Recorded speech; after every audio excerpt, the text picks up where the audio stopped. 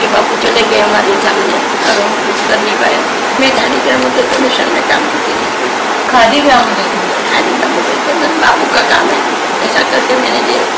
ऐसे सर्विस ही थी बॉम्बे में बॉम्बे में खाली ब्रह्म कमीशन है इला ऑफ़िस इर्ला ऑफ़िस में गवर्नमेंट की संस्था जी जी वेबर भाई ने खादी के लिए वो संस्था सरकारी बनाई थी जी तो सरकारी काम वगैरह मिलता था।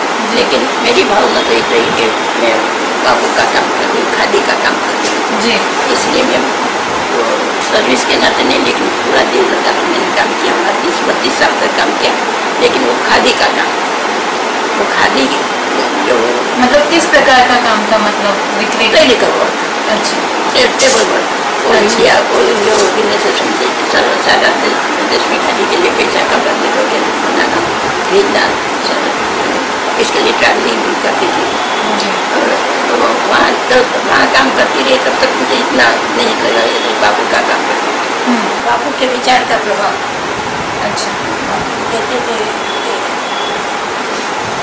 अपने करने की ज़रूरत नहीं समाज का काम करना चाहिए देश का काम करना चाहिए जी। जो भी काम करो उसमें ब्रह्मचर्य का अच्छा। बचपन से जो रहा तो उसमें कोई किसी को बड़ी बात शादी नहीं की तो कुछ नहीं शादी नहीं हुआ तो कोई बड़ी बात नहीं है? शादी करनी नहीं। तो नहीं की।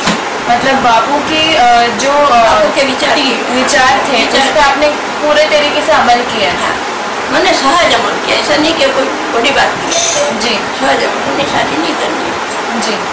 जैसे कि खादी पहननी है। जी। क्योंकि खादी क्यों पहननी है? जी। खादी का जो अर्थशास्त्र है वो अलग बात है। हाँ।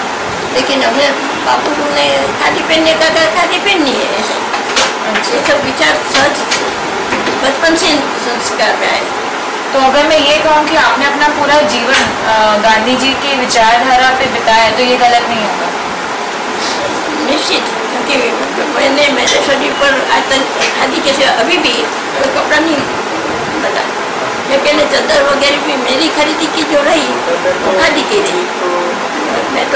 के विचारों से प्रभावित थे वो शादी नहीं करना वो भी बापू का विचार क्यों नहीं करना वो ना दे समझ लेकिन बचपन के शादी नहीं करनी है तो नहीं और फिर नहीं की तो क्या करना है बापू का काम तो करने का है सदा मैं कमीशन में काम करती थी जी। के काम मेरे लिए सर्विस सर्विस थी क्योंकि पगार लेके काम करती लेकिन मेरे भावना मेरी सर्विस कितनी थी ये काम की थी याद है कि आपने तीस साल सर्विस की है खादी में?